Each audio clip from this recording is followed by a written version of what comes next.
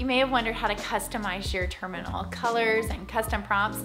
Well, I told you that I use Hyper and the Cobalt 2 theme, but there's actually another piece of the puzzle. I'll show you.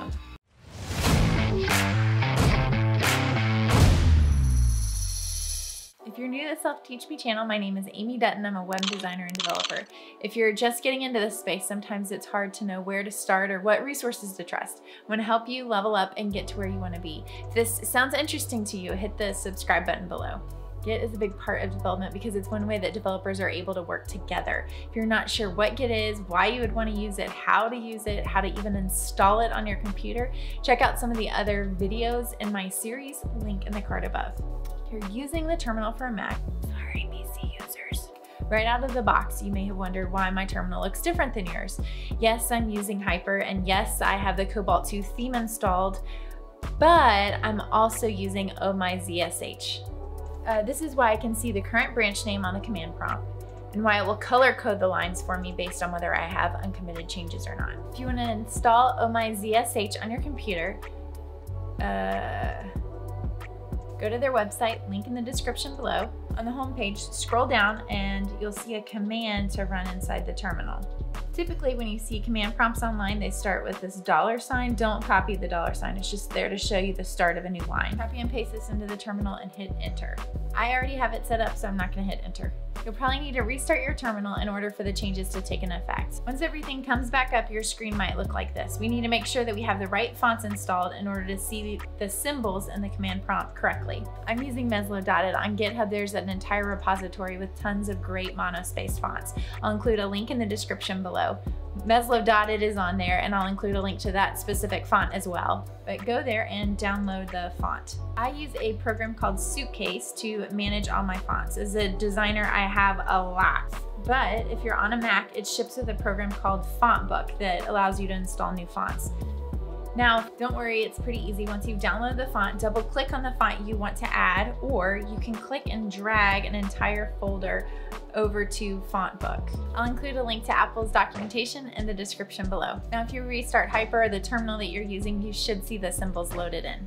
If not, within Hyper, you can go to Preferences, this will open up hyper.js where you can modify all your settings and preferences. On line 16, you'll notice there's a line for font family. Mine says Meslo LGMDZ for Powerline, which is the font that I pointed out earlier.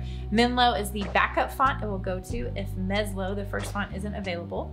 If Menlo isn't available, it will keep going down the list and you get the idea. While you're here, you can also modify the font weight and the line height, all kinds of stuff. I'll include a link in the description below to my hyper.js file as a GitHub gist if you want to check it out. Awesome. One more piece. The power of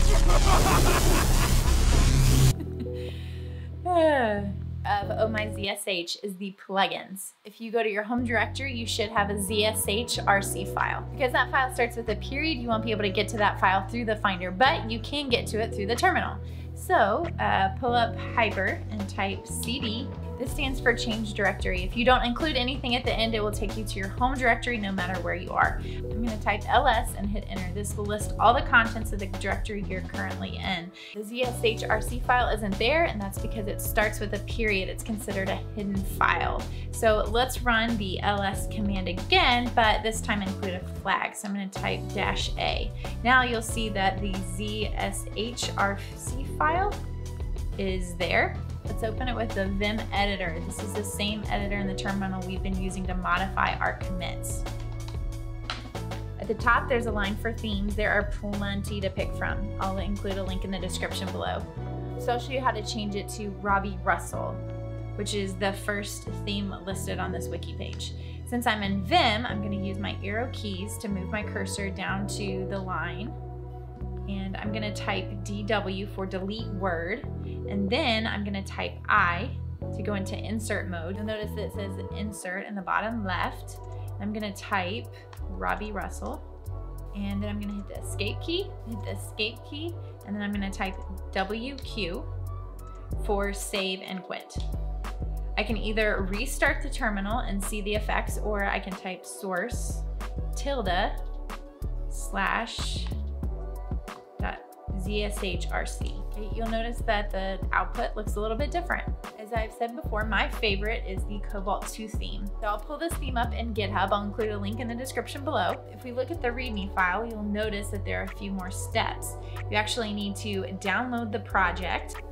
Uh, so if we come up here and click download, then it says to drop the Cobalt 2 ZSH theme into our themes directory. This might be a little confusing because the Oh My ZSH folder starts with a period, so you won't be able to get to it through the Finder.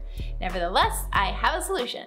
Within Hyper, type open tilde slash Oh My ZSH slash themes. You'll notice the Finder pops up open to that folder. Now we can drag and drop the file that we downloaded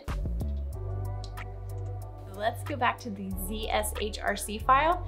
I'm just gonna hit the up arrow a couple times and you'll notice that it cycles through the commands that I've listed. Hit enter. Now we wanna change Robby Russell to Cobalt 2, the same commands as before. So I'm gonna type DW to delete the word, I to go into insert mode, Cobalt 2, escape, colon, WQ, enter.